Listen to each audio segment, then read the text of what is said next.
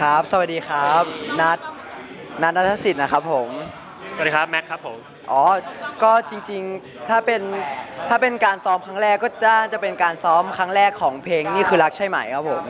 ส่วนถ้าเกิดเป็นโชว์คู่หรืออะไร เราก็จะมีซ้อมกันมาก่อนหน้านี้แล้วฮะใช่ครับผมวันนี้ก็เป็นการรวมรวมกันครั้งแรกนะครับ ผมก็จะมีการวุ่นวายนิดนึงนะฮะก็จะแบบว่าคือคลืนดีกว่าไม่ใช่วุ่นวายหรอกคือคลืนนะครับผมสนุกสนุกกับปกติใช่ครับผมแล้วก็แต่ละคนนี่คือ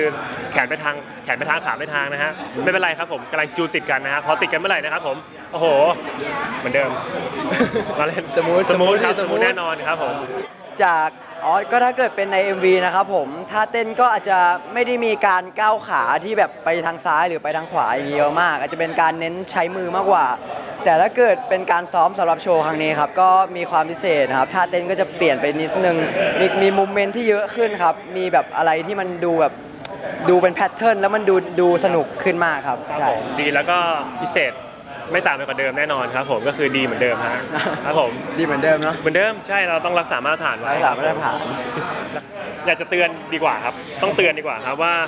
ใช่ฮะกลัวอยาก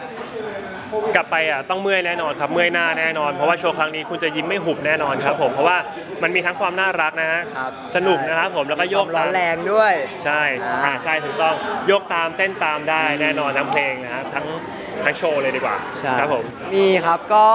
ของโชว์โชว์ที่เป็นแค่โชว์คู่ของเราก็จะมีเพลงหนึ่งครับ ส่วนที่เหลือก็จะมีเป็นโชว์รวมด้วยครับผม ถ้าเกิดเป็นโชว์คู่เรานะครับ ก็